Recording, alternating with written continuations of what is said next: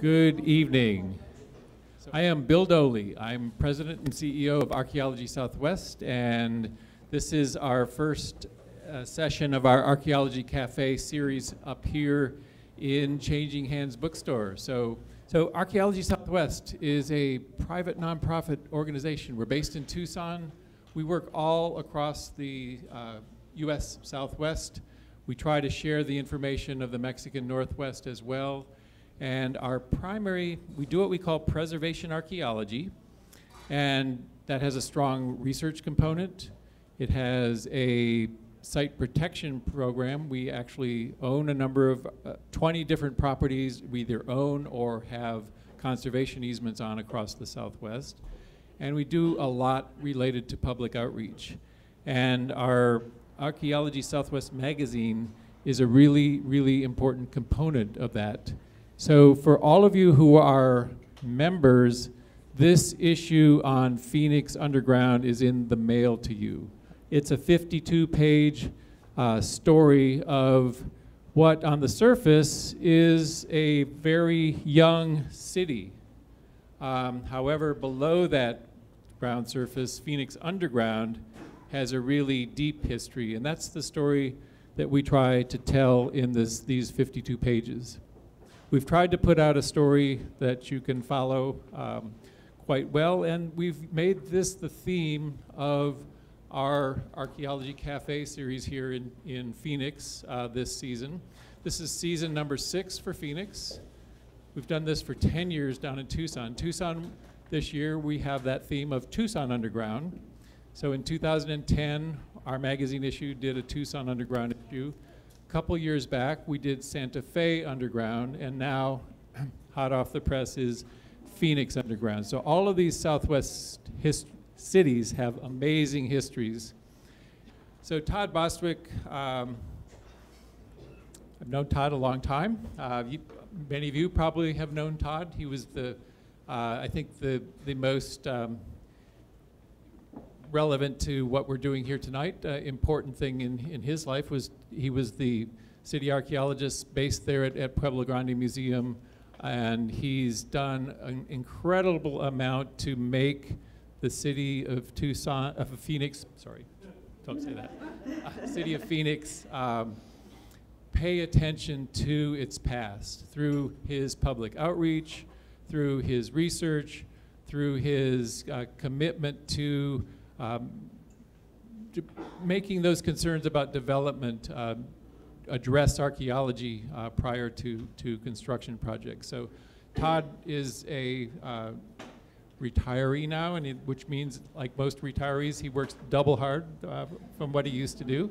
Uh, very active with the Verde Valley Archaeological Society, uh, published books on rock art, and he's going to talk to us tonight about some of the history of archaeology here in the Phoenix area, looking at what the Phoenix freeway system and other roads in the area uh, have to say about the archaeology of this amazing place. So without further ado, Todd Bostwick. Thank you, Todd.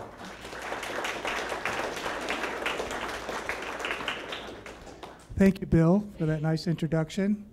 Thank you for coming out tonight. Appreciate your support. Uh, Archaeology Southwest is really a remarkable organization, and I'm proud to uh, participate in their programs and to uh, be involved in all the wonderful things that they do. Uh, I was asked to talk tonight about some archaeology that occurred under freeways that you drive on, probably drove on to get here. And so, and also to keep it not too technical because it's going to be a general audience. So those archaeologists I see in here, I apologize in advance to you, but uh, there's a lot of information that has been uncovered about the ancient culture that lived in uh, the Salt River Valley, the Hohokam, uh, when the freeways were built. And fortunately, uh, in the 1970s and the 19, early 1980s, the federal government and the state government strengthened the laws that require archaeological investigations be done before freeways were built. And the timing couldn't have been better because in the uh, 1980s and early 1990s was when Okay, I just advanced the slide and it didn't advance on the screen. That's not difficult for an archaeologist, by the way, to keep talking, because we, we're very good at that. So as I was saying, fortunately, the timing uh, was really good that the laws were strengthened requiring archaeological for federal and state projects because it was in the 1980s and the early 1990s that many parts of our current freeway system were built. And so uh, there was a lot of archaeological work done, a large number of graduate students uh, got to experience the Hohokam culture through their uh, participation in the work that was done. And it really set uh, our knowledge of the Hohokam uh, greatly forward. And uh, so what I'm going to do tonight is just pick a few interesting tidbits of some of those projects and talk about them in a general way and then talk about some of the what things that I thought were interesting and in a way to sort of explain uh, what we know about the Hohokam culture. That's not good when she's shaking her head like that. Well, I can tell you that uh, I'm going to I'm going to talk about six archaeological projects uh, that were undertaken at Hohokam villages, all of which were very important villages.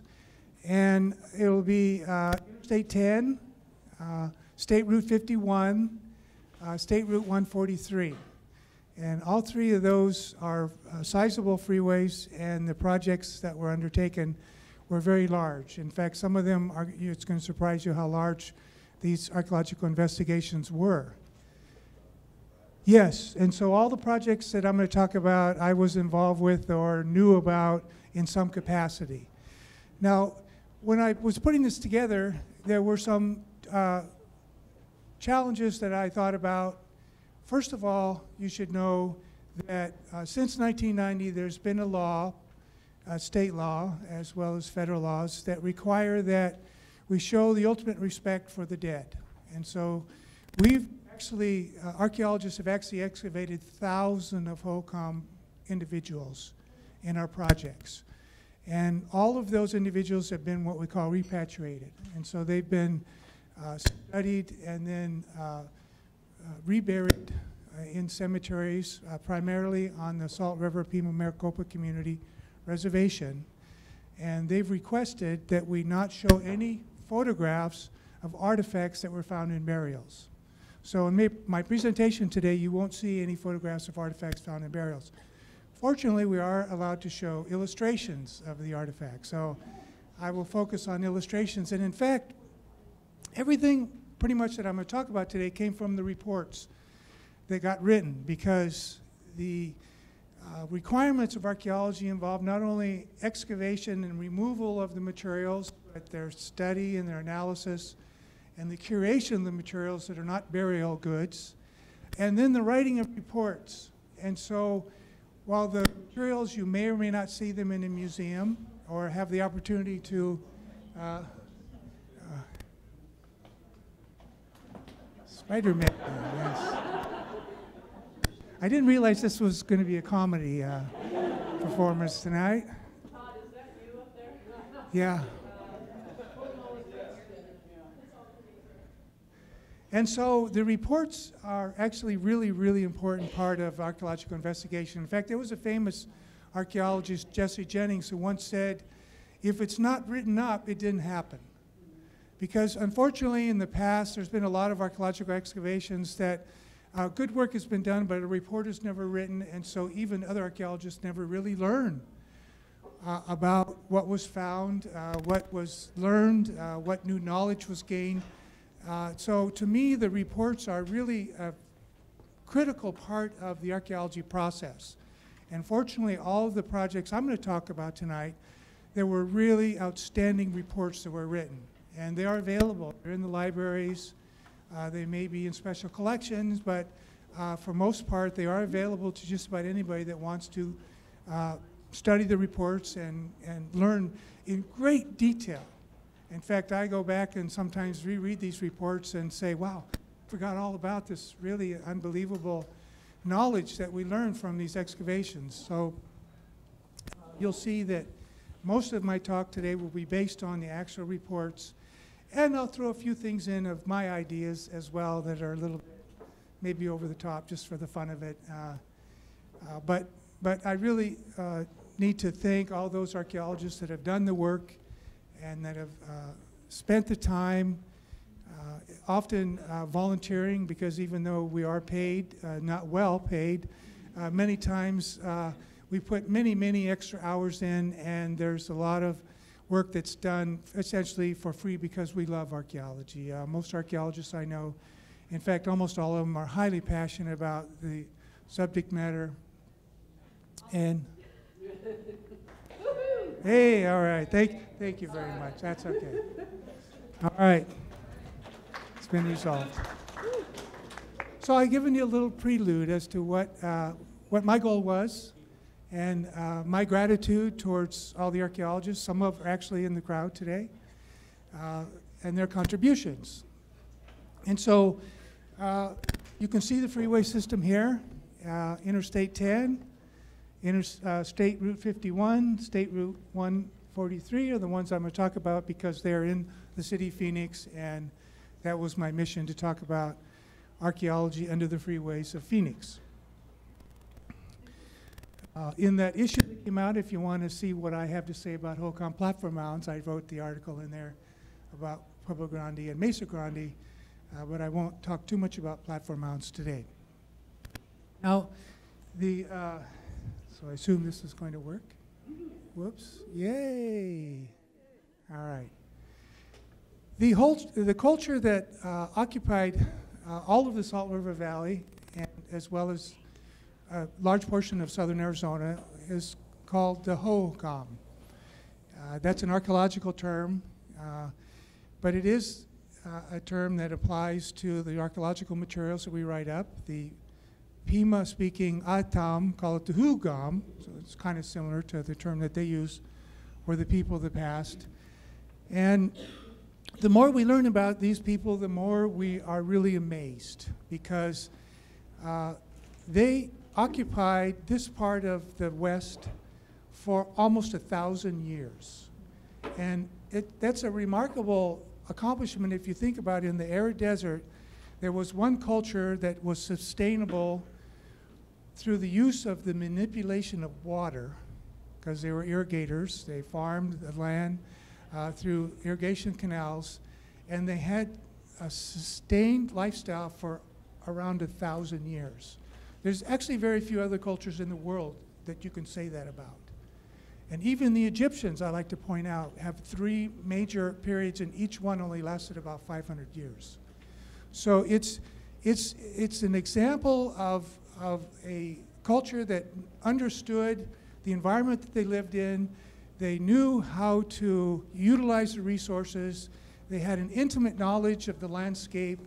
And uh, as uh, Dr. Emil Haury, one of the uh, well-known and famous Hohokam archaeologists said, uh, they effectively blended their technological know-how with the resources that nature made available to them.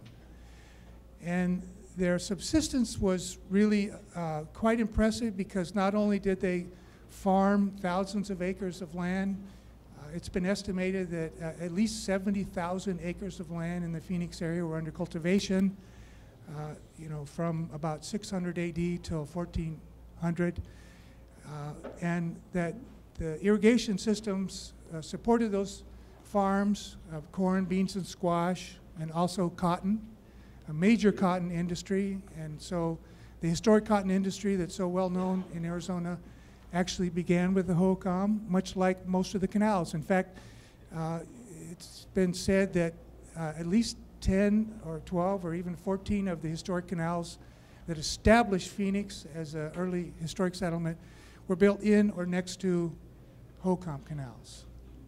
And so uh, they, they understood the landscape and they utilized it to an incredible extent. And in addition to the farmland, they also utilized many natural resources as well. Uh, just a few that I'll talk about.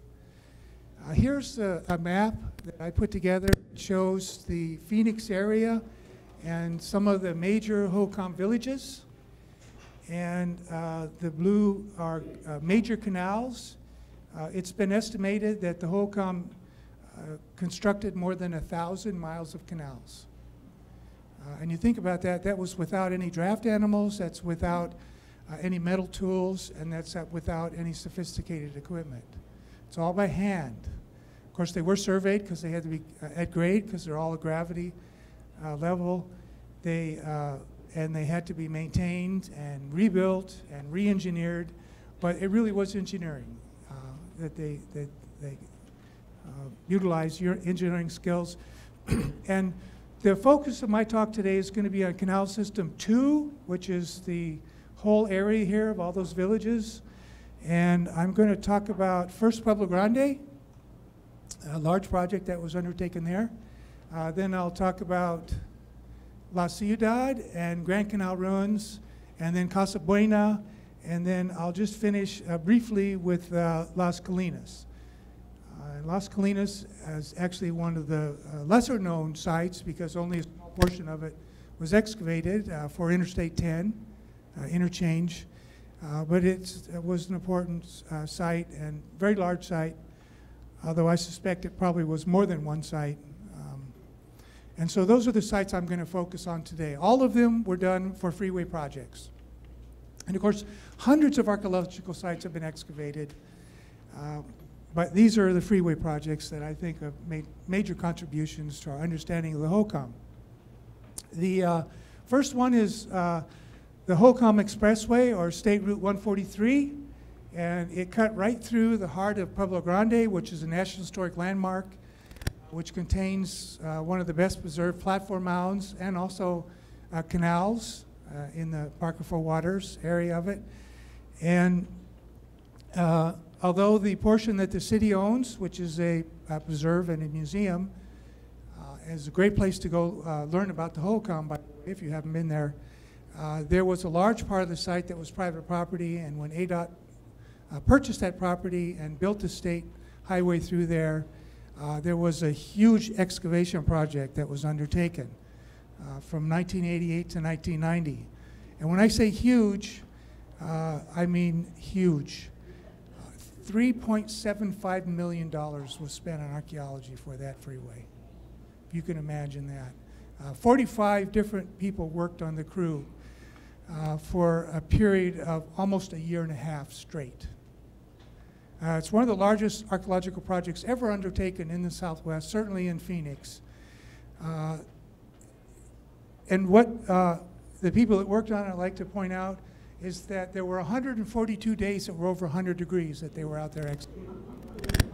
I like to remind people that in Phoenix, we don't stop just because it gets hot. I can remember days coming back from a dig and the temperature sign said 113 degrees. Uh, and again, it's the, the uh, a testament to the hard work of the archaeologists that are doing uh, these excavations. now, the Pueblo Grande excavations for State Route 143 involved uh, examining 17 cemeteries and 14 habitation areas, which is a large uh, example of the, of the site itself. Uh, and that included uh, over 836 burials. And you can learn a lot about a people by examining the burials. I'm not going to focus on the burials of this site. I'll talk about that in another site. But the work that was done on those burials was quite phenomenal and uh, provided a lot of information.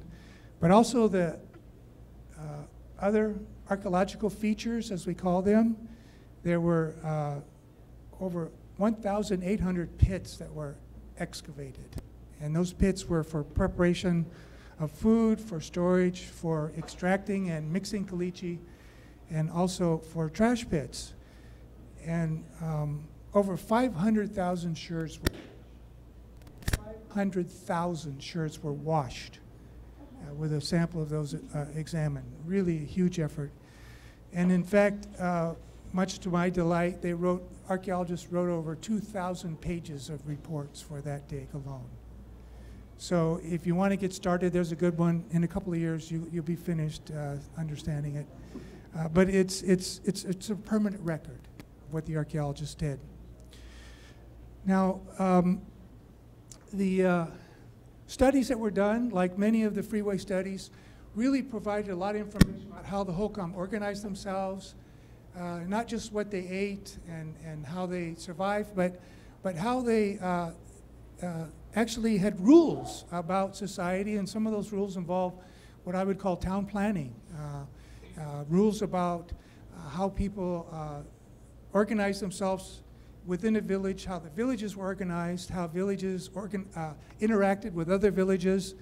And we now understand the Hohokam to such a degree that we can say a lot about what they did, um, but there's still some questions that remain uh, despite all the work uh, that was done.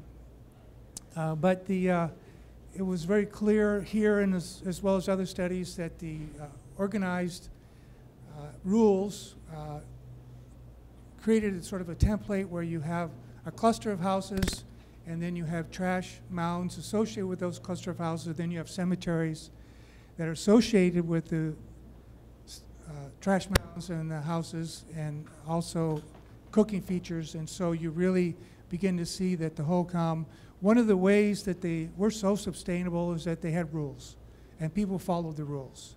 It was a very organized and orderly society.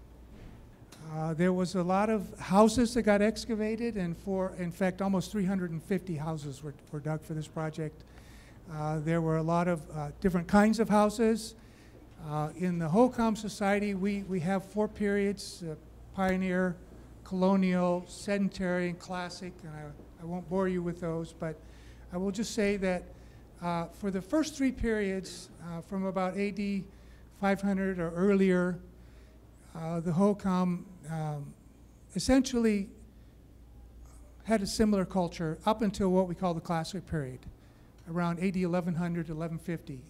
At that time, there were major changes that occurred in Hohokam culture. In fact, changes that we're still trying to understand why. Different kinds of architecture, different ways to organize yourself, different ways to bury uh, your dead. And so a lot of what I'm going to talk about today is the classic period because it just so happened that a lot of the work done on the freeways was in uh, classic period uh, parts of the sites. But the pit houses uh, were uh, an early component of the Hohokam, and they went right up until the classic period and then continued to be built. So even when there were great changes, when they were building apartment complexes with above ground adobe structures, they still continued to, to build pit houses. So uh, there's clearly some traditionalists that say, yes, the new way is interesting, but I'm not doing the new way. And so that, that again creates challenges to understand what's going on in Hohokam society. And I think there's many analogies uh, with our own society too about fashion and, and tradition.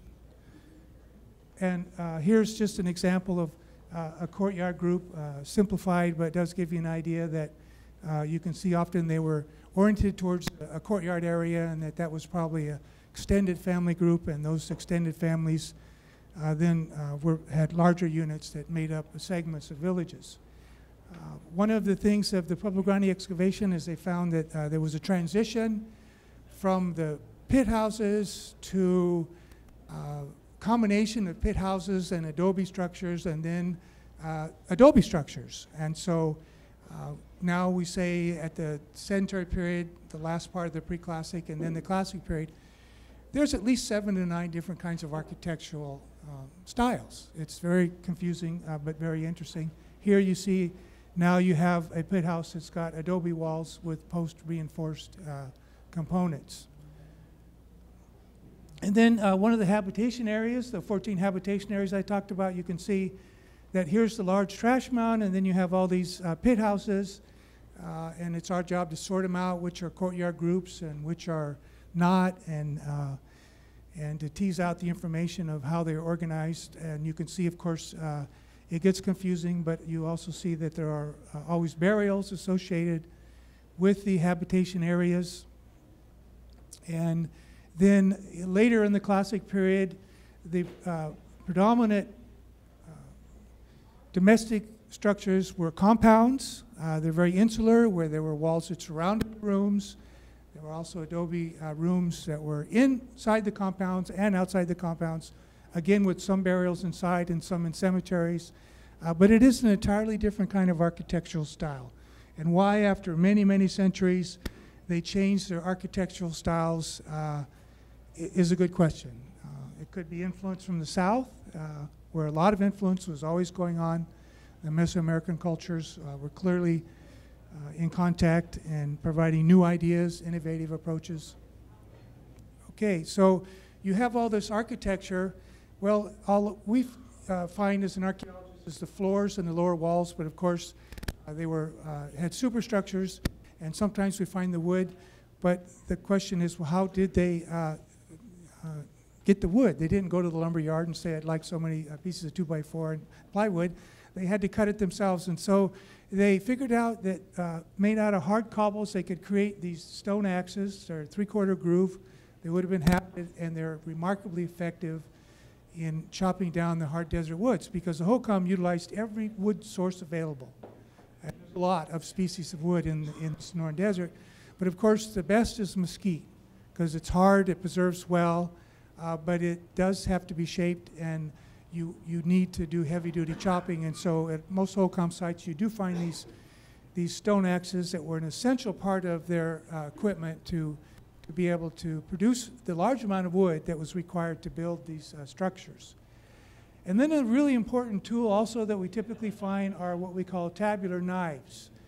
These are very thin uh, phyllite or slate, uh, uh, large knives, uh, bigger than a person's hand, uh, that were used for cutting plants, they're cutting tools, and especially for cutting agave. And agave is, seems like a, just a common plant. Uh, it's a succulent with the sharp spikes on it. Many of you probably have them in your backyard. I know I do. But agave was probably one of the most important plants the Hohokam uh, had. The reason being is because not only can you eat the heart, it's delicious and nutritious, but the leaves, when you process them, they create fibers. Those fibers, you can make ropes and nets and bags that are really strong and that are, you know, the mainstay of, of um, the, the ties that you have to have uh, in all the different activities that you're involved with. And so the agave was extremely important plant, but it's, it's very hard to process, and so the processing involved these specialized tools that we typically find, uh, sometimes with serrated edges, sometimes with, uh, with uh, different uh, uh, kinds of uh, shapes and forms, sometimes hafted even, and they've been suggested they might even have been hoes, and, and some were, I suppose. But it is interesting that it was a specialized tool that the had developed and used for, you know, as, as much as a thousand years. Now, there were a lot of vessels, as you can imagine, because of all the burials that were dug. Uh, and in fact, uh, they uh, recovered more than 2,000 whole pots at the Pueblo Grande project. Uh, that's quite a load of information. Uh, here's some illustrations of them. Uh, they're red on buff, which is the hallmark of the Hohokam culture, although they also made a redware and a plainware. And the red on buff designs were elaborate for the classic period, but were actually not as elaborate as earlier uh, styles uh, before the classic period. Uh, but it, this project uh, provided an opportunity to learn a lot about the, uh, the ceramics. In fact, some of the major advances on uh, understanding ceramic production and trade came out of this project. It's the work that David Abbott did showed that most pots were not even made at Pueblo Grande.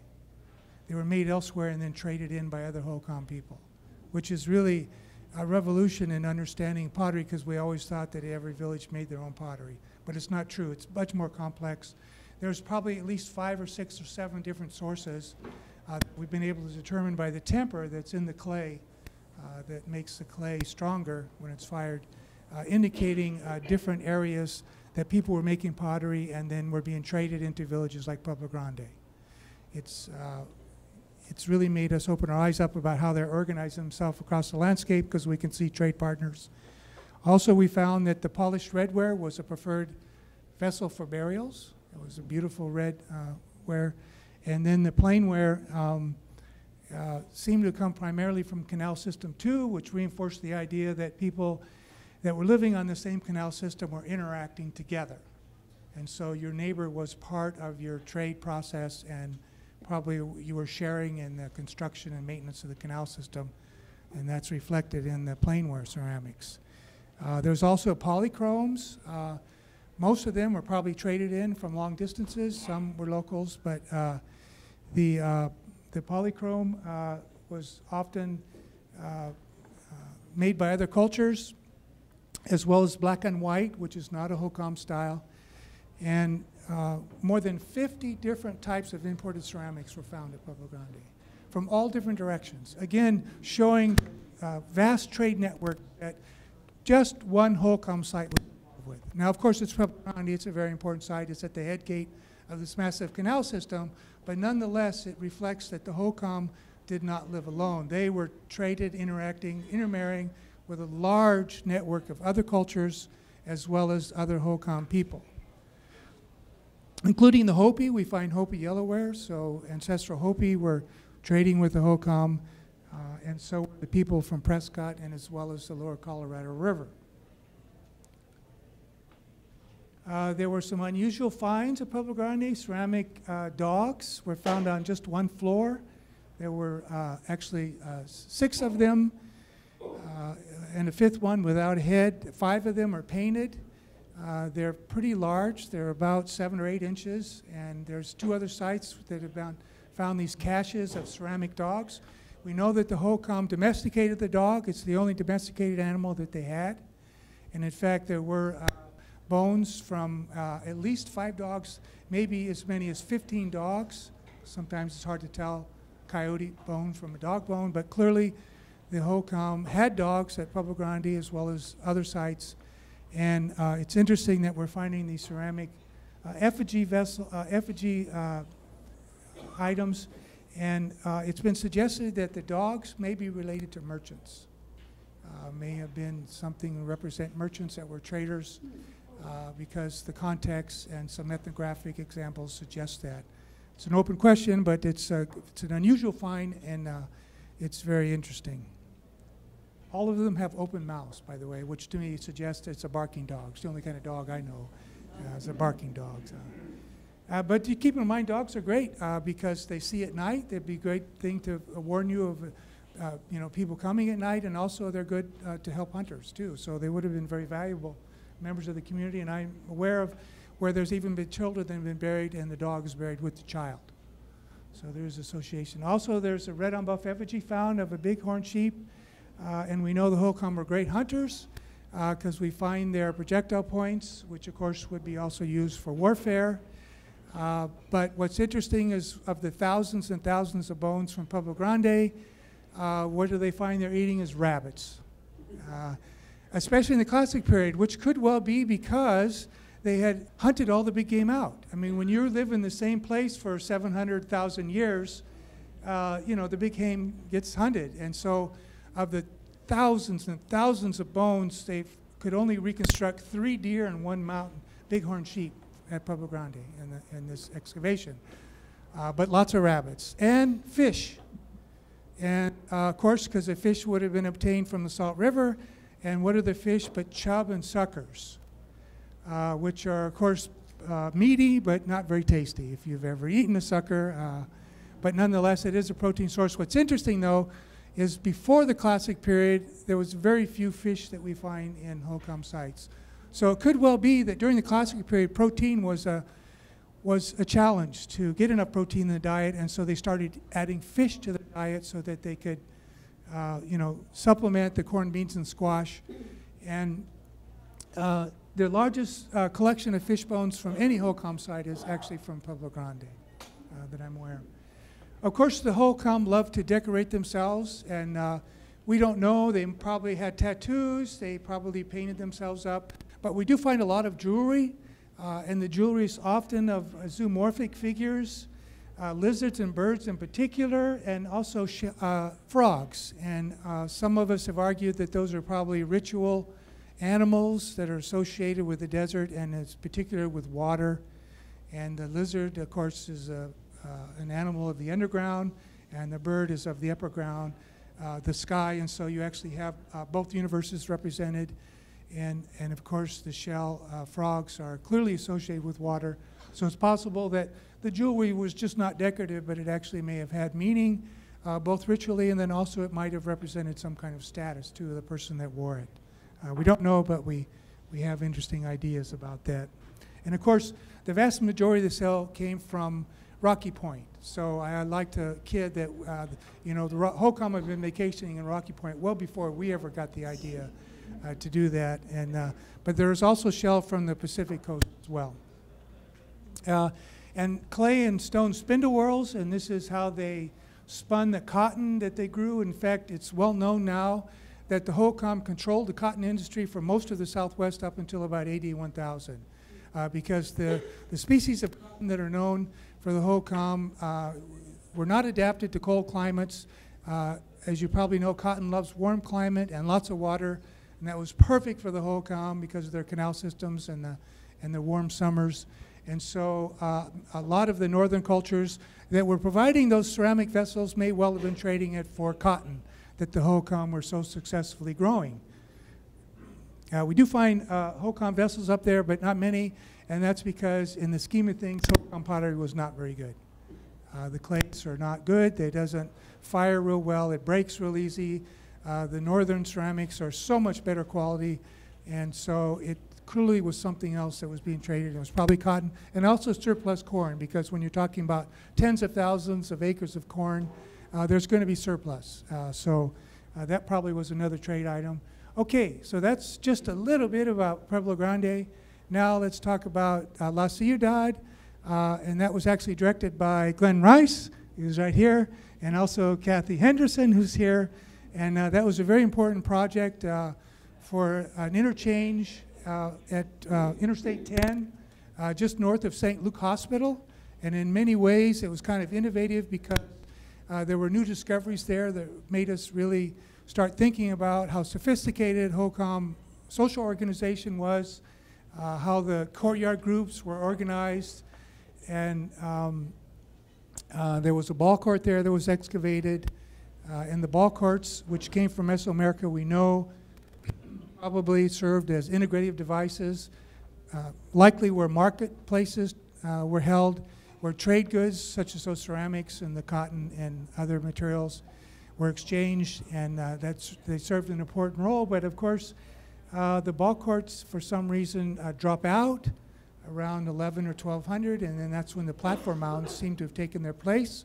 So that's one of those interesting changes that we don't quite understand why took place, but uh, La Ciudad, uh, that was excavated uh, by Glenn and Kathy, was primarily an earlier component, a preclassic component.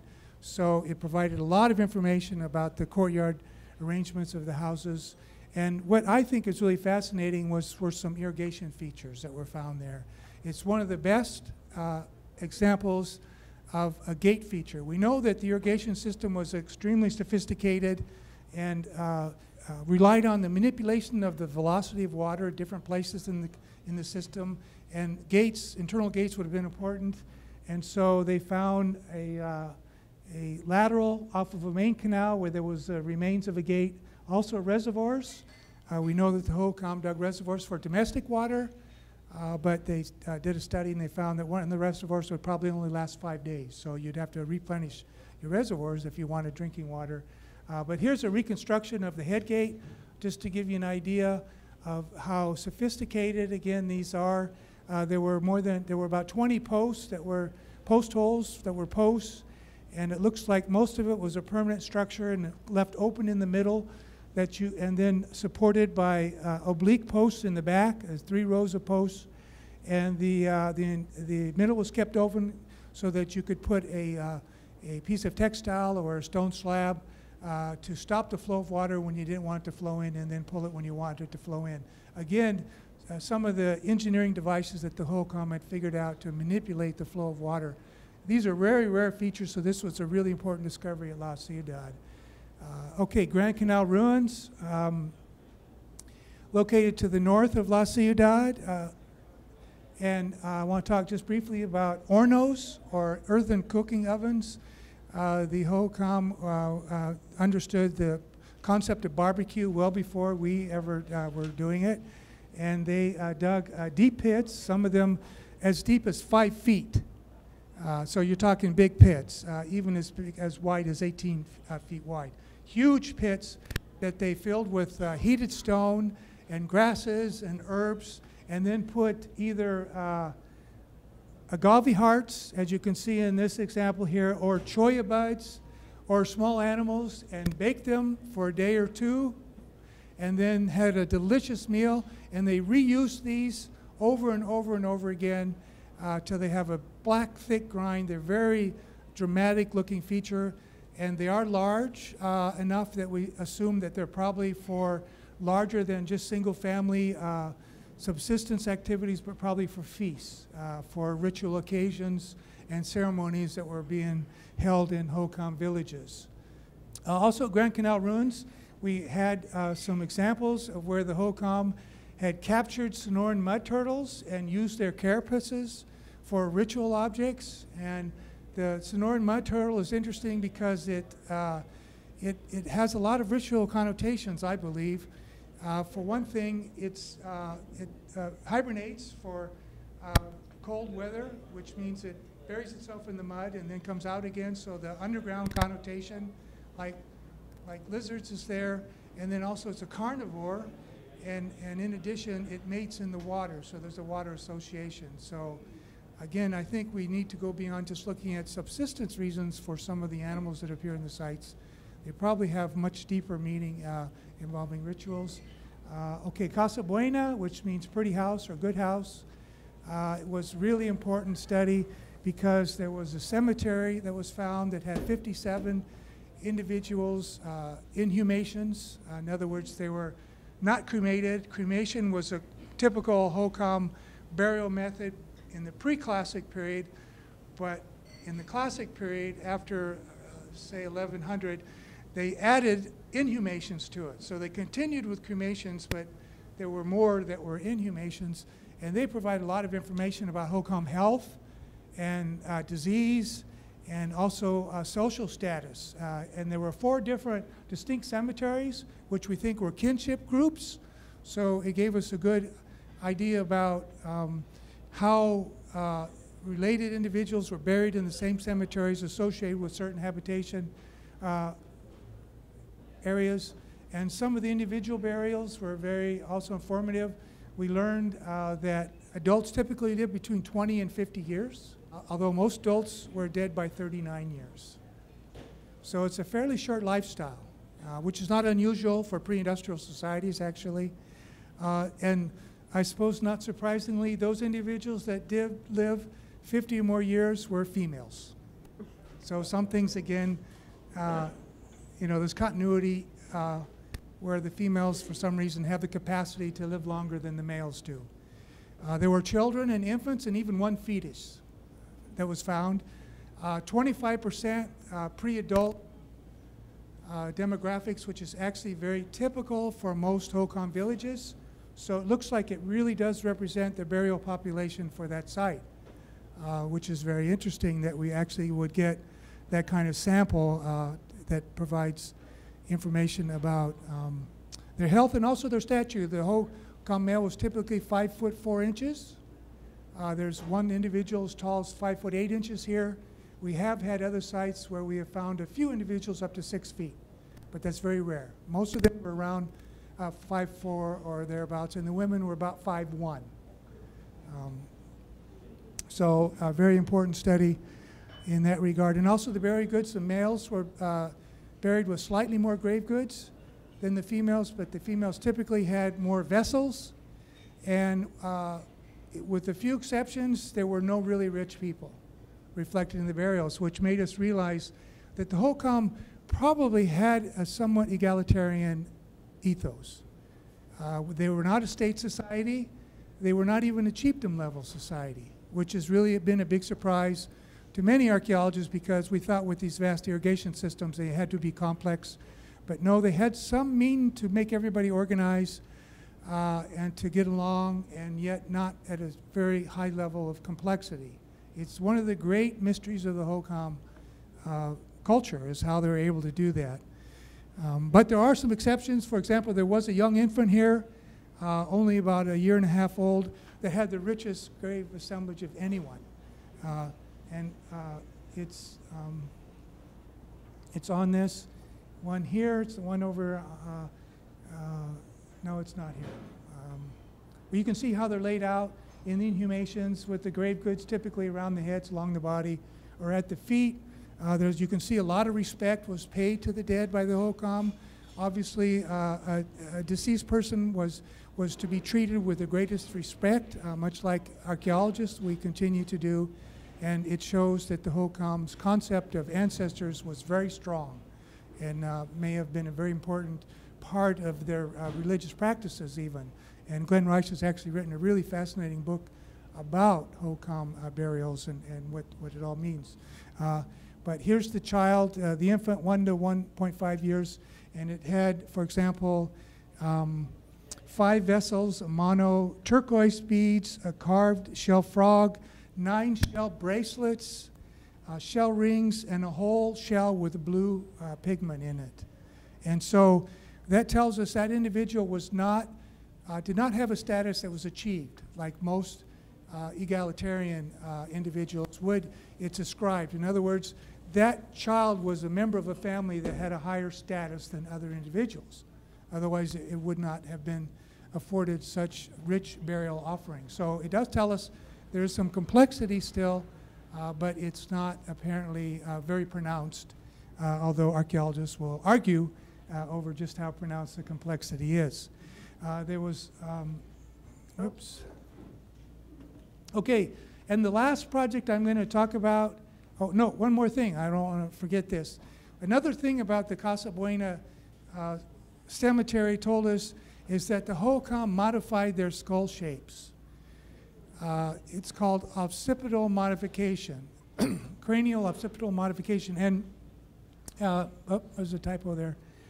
Uh, you can see what it was, what a round-headed individual is, and you can see how they, they changed the shape of the head, and it's found in 83% of the burials at this site. So it's very common. It's both male and female, and children and infants. And probably when the, when the child was in a cradle board, they tied it to the cradle board so that the head would uh, form in a certain way, and that shape of the head would, had cultural significance uh, and, and may have been an, an identifier of the Hohokam. Although I will say that studies have shown that Sinagua and Mogollon uh, cultures also had similar head uh, modification processes. The ancestral Pueblo up to, of the north also had uh, cranial modification, but they did it in a different way than the Mogollon, the Sinagua, and the Hohokam did. So clearly, there's an identity process that's involved in modifying the shape of your head as a child and then maintaining that form, of course, throughout your life. It's a very interesting form of identification. Uh, okay, the last side I'm going to talk about is the Interstate 10 Las Colinas, which is the hills or the knolls. Uh, this uh, project was also a large project uh, where they excavated over 150 houses, a ball court again, and the platform mound is a very important study of the platform mound. Uh, David Gregory showed that the platform mound actually started small and expanded in seven different stages. And it was first constructed when the ball court was abandoned. So clearly there's a transition there between ball courts and platform mounds that relates to probably something to do with uh, changes in social organization and certainly changes in their religious practices. Uh, but they also excavated a large number of, of other features, and they retrieved a million artifacts in this small excavation. Imagine sorting and cataloging a million artifacts from just one single project. This is the scale of archaeology that uh, occurs in Hohokam all the time. It's huge. The amount of data that we're collecting is hard for any one archaeologist to, to actually know it all and handle on it all. And it's a good thing, uh, but it'll keep you reading reports all of your life. Uh, uh, and then one last thing I want to say about Interstate uh, 10, Las Colinas, two more things. One is uh, there were 11 incised palettes. Incised palettes are actually uh, pre-classic period. They're from the Sedentary period. They're typically with cremations. And there's some of us that are looking at Hohokam religion uh, because we think we can actually say some interesting things about Hohokam religion. And the palettes were clearly a ritual object, buried with the cremations, probably went through the cremation fire. And in fact, Uh, they're, ha- they, they're often incised, and I would argue the incisions represent rattlesnakes. And rattlesnakes, again, would be an underground uh, creature represented with the underworld, which is where the dead go. When you die, you go into the underground. It's a very common concept among many pre industrial societies. So it's not surprising that you have designs that look like the rattlesnake designs. But what's even more interesting is that they're rectangular, uh, usually, and uh, they have a lead oxide that's been highly burnt on the interior of them, uh, which means that there was probably galena or some other form of lead that was put in the middle of it, and then that burned in the cremation fire. People have done studies and they've shown that that lead, when it melts, turns a bright red blue color. And in fact, uh, what I think is it's showing the doorway into the underworld for that deceased person who's been cremated to go into the underworld, and that doorway is a very dramatic uh, opening uh, through the burning of the lead oxides uh, in, within the palette itself.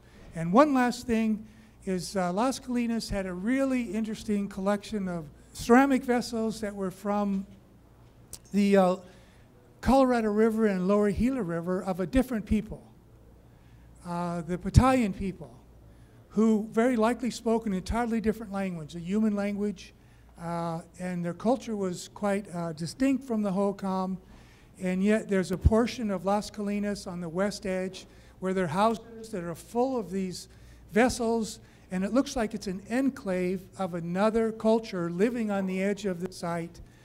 And uh, it could well be uh, that these individuals were providing labor uh, to assist in the canal construction and maintenance system, or, as Glenn has actually argued, they may be recruited so that Las Colinas, which is at the end of the canal system, if ever Pueblo Grande decided to shut the water off, Las Colinas had lots of people that they could marshal up and march down to Pueblo Grande and say, don't do that. Uh, and it's an interesting idea that you would recruit immigrants to help with labor and then also to serve uh, maybe some military capacity to ensure that you got water because the Salt River uh, had floods, it had droughts throughout the year. Really good records now through looking at uh, um, tree rings uh, from the watershed. We know that the river never was the same any one year uh, and from decade to decade. And there were times where the water was low and there would have been a stress on making sure that everybody got water. So it's an interesting idea that, the, that this big village at the end uh, said, well, we're going to ensure that we always get water. So that's just some of the highlights I wanted to give you to show you what we can learn from, from sites under the freeway. I hope you enjoyed my presentation.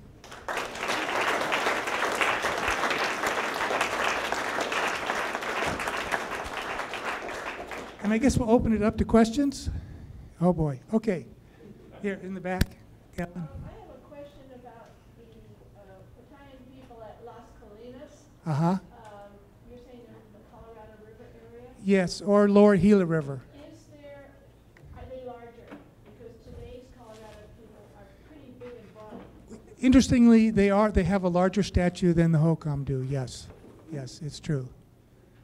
She was asking where the. Yeah, the question was, did the, uh, the, the Lower Colorado River Patayan were they bigger people? And yes, some of the evidence suggests they had a larger stature. Just like if you compared the Navajo to the Hopi today, the Navajo are much bigger people than the Hopi, uh, and so some clearly some cultures the males were bigger for some reason. Yes, uh, Tom, is there any signs of the Hohokam having any sort of reservoirs to Yes, I, I talked about there were three reservoirs found uh, at Las, uh, La Ciudad that were for domestic purposes. There's been other sites where that's been found, but I will say at Las Colinas they found a big reservoir, and they found through study of the stratigraphy that it wasn't the water thereafter. They wanted the clay deposits that the water deposited to use the clay for making ceramic objects.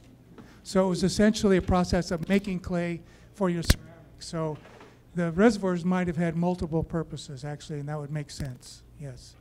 Uh, yeah, I'll get to you in a minute, yes.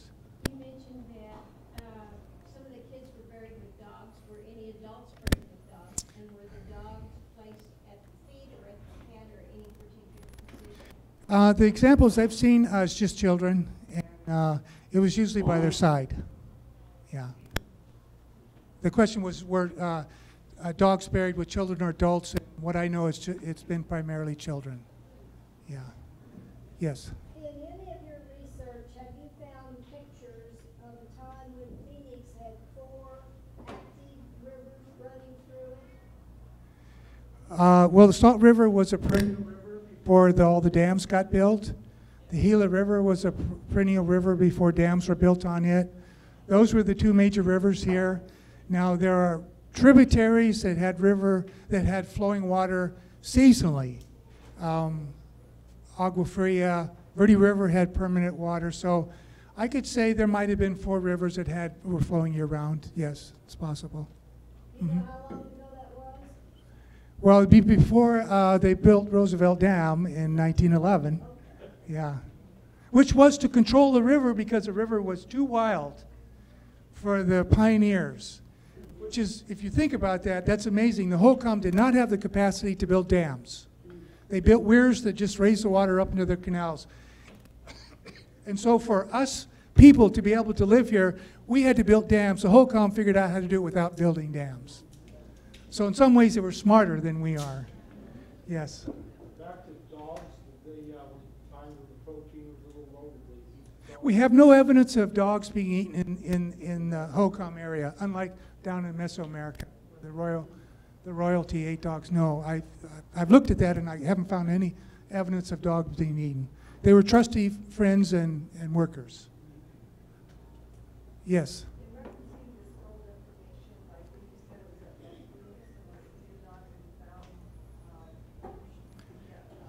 It was Casa Buena, but also Grand Canal and other sites too. I don't like to use the word deformation. I know that's a term you see written because that sort of implies it's deformed, but it's intentional and it's modification and it's what they thought was to make a person more attractive. So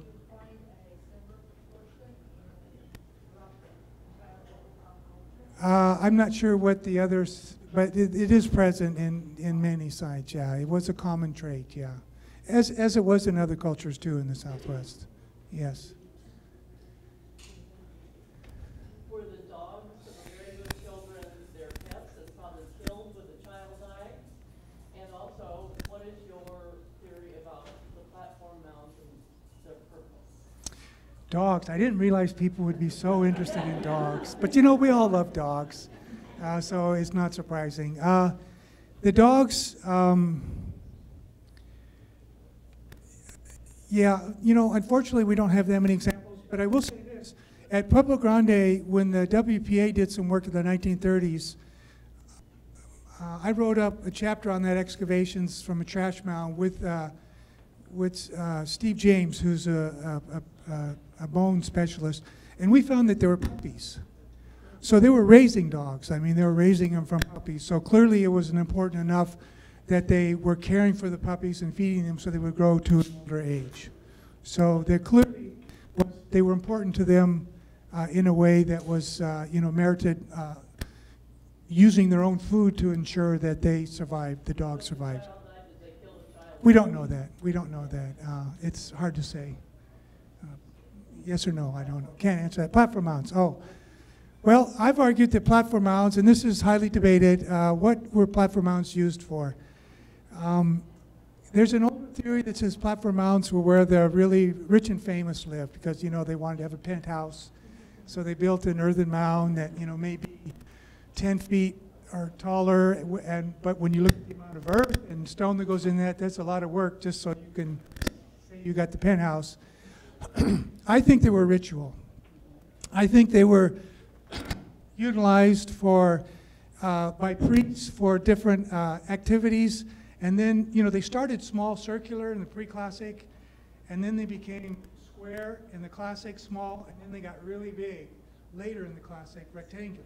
So there's an evolution there. What's interesting is at the very late stage where they're big rectangular, uh, after a while they started building a lot of dwellings on top.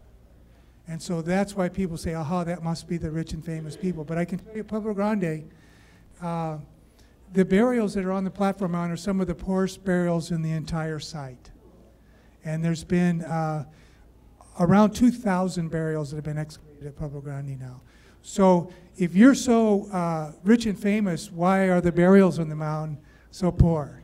Uh, again, I think it's part of that egalitarian ethos. Now, it doesn't mean the people up there weren't powerful. They probably were, and that's why they were up there. But the question is, you know, was it a chiefdom? No, we don't believe that chiefdoms existed uh, for the Hohokam.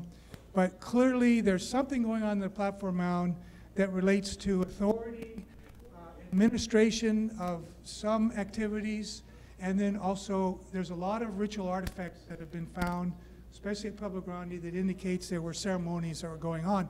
And in fact, on the whole uh, west side of the platform mound at Pueblo Grande, there's all these bins that look like they were full of a large amount of corn. And that corn would have been used in feasting activities that the leaders of the platform mound were coordinating the feast. So their power may not have been in control of the whole village, but in actually coordinating ceremonies that were important to the whole village. So it's pretty complex. Glenn and I have had a lot of debates about this, and he has some interesting ideas too. So the platform mounds are a very interesting component of, and we know that there were uh, they were spaced usually about uh, three miles apart on the canal system. So clearly, you just didn't build one because you wanted to build one. It's it's got an administrative function uh, because of its spacing on the system. So, yeah, yes.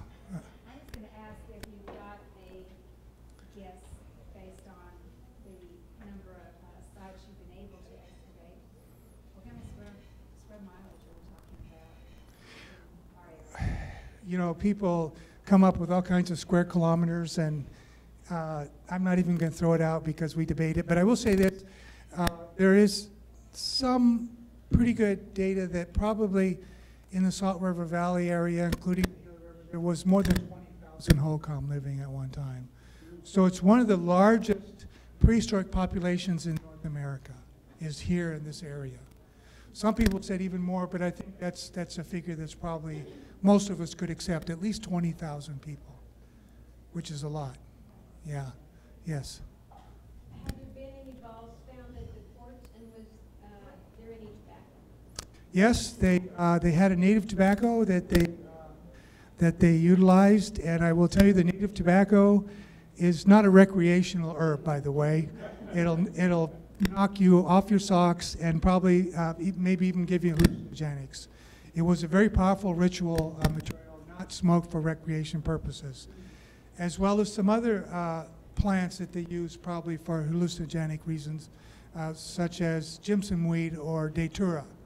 Uh, we find that uh, present, not only remains of the plant, but also we find vessels that are shaped like the pods that, that grow on those plants. Uh, so we know the Hohokam very likely, like every prehistoric culture, had hallucinogenics, probably used during rituals, ceremonial activities, for visions. Because we're pretty clear that trances and visions were part of, of the ritual process by uh, religious specials, as it is for all pre-industrial societies.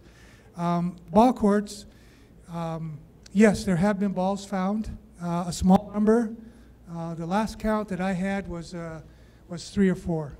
What are they made out of? Well, uh, made, the one at Pueblo Grande was found was made out of stone, which I can't imagine. Uh, if you're playing the game, you know, a hip game, and you're bouncing it off your body in stone, that's going to be pretty deadly. Uh, but, but there are ones that are that are rubber, uh, just like the ones down in Mesoamerica, and they're made out of a plant called guayule plant, which is actually a very poor rubber, but it is rubber. But I can tell you that uh, that's kind of a misnomer. Uh, that that wasn't a dangerous game many people uh, are recorded to be severely hurt and even killed in the ball games of Mesoamerica with the rubber balls because it's a really hard rubber ball and they're usually this big. Also, I'd like to point out, I recently did a study and I have a talk that I've given and will continue to give where I really looked at the, what we know about ball courts in Mesoamerica. There's three kinds of games. They're not just a hit ball that we often think about. There's two other versions. There's one is a handball game, and there's another one that's a stickball game. All three of them are still uh, practiced in Mesoamerica today. Uh, And so we need to be careful to say that the Hohokam had a hit ball game uh, as the Aztec did and where our best uh, uh, records are accounted from because it could have been a stickball game or it could have been a handball game as well, or all three even, because we now believe that at, at some sites like Khan, which is the massive site that controlled most of Mesoamerica for a period of time, it looks like all three games were played there. So, um, but clearly it's a ball game. I, I'm, I'm convinced it is a ball game, the Hohokam game. One Yeah, more one question. Uh-oh. I see, I got four hands here and I got one question. Okay, let me ask this gentleman here. No, I don't believe that you'll find any, ho- well, there's always a few, but I, most Hohokam archaeologists are not going to support the state society. uh, But what's clearly going on is there's more insularity that's occurring. Because the ball court had markets, you could, a lot of people could come, it was open, but to go actually to the top of the platform mound, you had to be a select few that got invited there. The compound wall at Pueblo Grande is nine feet tall. You couldn't even see what's going on up there. So something has changed where certain ceremonies and rituals are no longer available to the public. And that's really profound change, but I don't think it's state level society. Uh, yeah. Well, there's a lot more to defining what a state level society is, and so it's a more complex. But let me just end, because you made a good point here, the talk, with a comment that, so what happened to the Hohokam? You know, they were sustainable for a thousand years, and then there's a major collapse. There's no question that the collapse occurred. When it occurred, we're not sure. We used to think it was early 1400s. Now we're pushing it into the 1350s or so, when there were a series of major floods, really big floods. But we don't think the floods were the sole reason. If you ask an O'odham who's familiar with their oral traditions, they will tell you, and it's been reported, that the people that were on controlling the platform mounts had become evil. And so there was a revolt. The common people said, that's it, we don't want you as our leaders anymore. And there were battles that took place. And through those battles, the common people won, and then the society collapsed as a result of the, of the uh, decline of the, of the leaders. Um, so, you know, how that fits into your model, you know, probably we could talk about that more later. Uh, thank you very much, everyone. I appreciate it.